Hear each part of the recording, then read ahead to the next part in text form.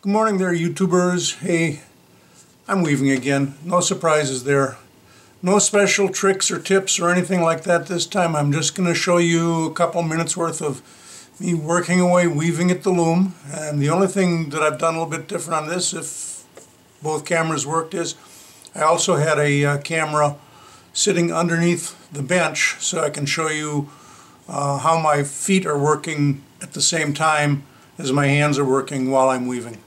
So sit back, relax, enjoy watching me work and when this project gets all done I'll show you what the uh, towels look like right? But they're just uh, natural cotton uh, for the most part with um, some orange and some burgundy cotton for accents. So take a look at uh, the weaving.